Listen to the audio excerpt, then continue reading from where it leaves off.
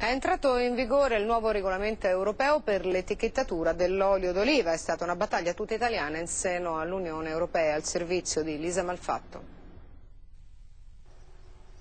È il ministro Luca Zaia, nel luogo in cui dal 39 arde una lampada votiva con olio d'oliva, a produrre simbolicamente la prima bottiglia d'olio con la nuova etichetta rivoluzionaria che in tutta Europa ne indica la rintracciabilità, e cioè la certificazione della provenienza dell'oliva e del paese produttore.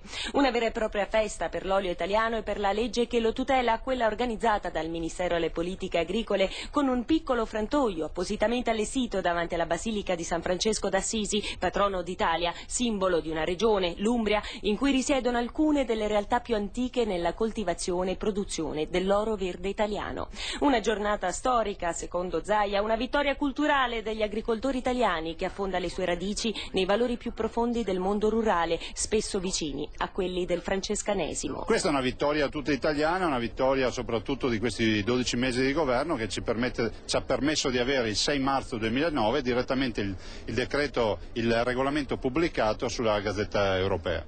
La prossima battaglia? È l'estensione dell'origine obbligatoria in etichetta per tutti i prodotti dell'agroalimentare. Abbiamo già presentato il disegno di legge, è stato approvato in seconda lettura al Governo ed è oggi in discussione in Parlamento, per cui è verosimile che per fine anno sia legge.